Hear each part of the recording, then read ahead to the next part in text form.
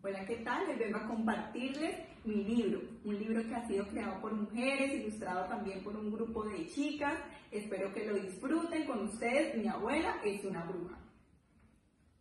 Mi abuela es una bruja, una bruja diferente y peculiar. Su nariz no es puntiaguda, ni verdosa es su piel. No usa un sombrero grande ni zapatos de esquiar. No hay caldero en su cocina, ni en escoba sale a volar. ¿Qué tipo de bruja será esa? Vamos a ver. Mi abuela es una bruja, una bruja singular. Guarda semillas de toda variedad. Escucha a diario las noticias y le fascina leer. Conoce mucho de historia y también sabe coser.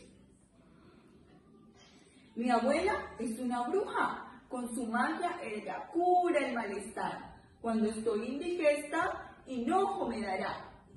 Si no concilio el sueño, valeriana hay que tomar. Y si tengo tos, eucalipto es el mejor. Con su sabiduría, ella todo puede aliviar.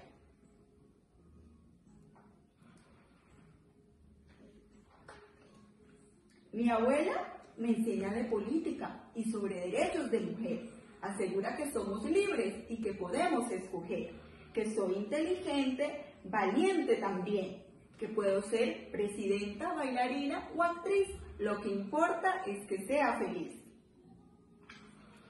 Ni feas ni malvadas como nos han hecho creer. Brujas son las que poseen un gran saber, son las que luchan y no se dejan vencer. Cuando sea grande, como mi abuela quiero ser. Una mujer valiente, libre y feliz, grande como las de mi estirpe, yo seré. Y colorín colorado, este cuento se ha terminado. La cultura es de todos. Ministerio de Cultura.